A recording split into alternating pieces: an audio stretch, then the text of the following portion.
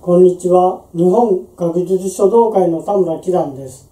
今日も単行者の前後百科から前後を選び、その解説文を読んでから後でその前後を半紙に筆で書いてみます。今日の言葉は、八景なお磨くべしです。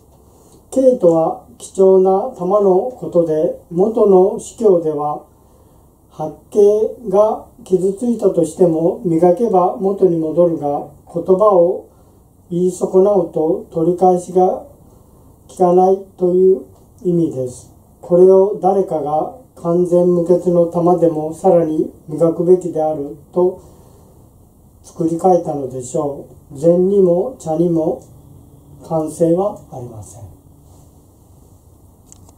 それでは今から八景なお磨くべしを書いてみます。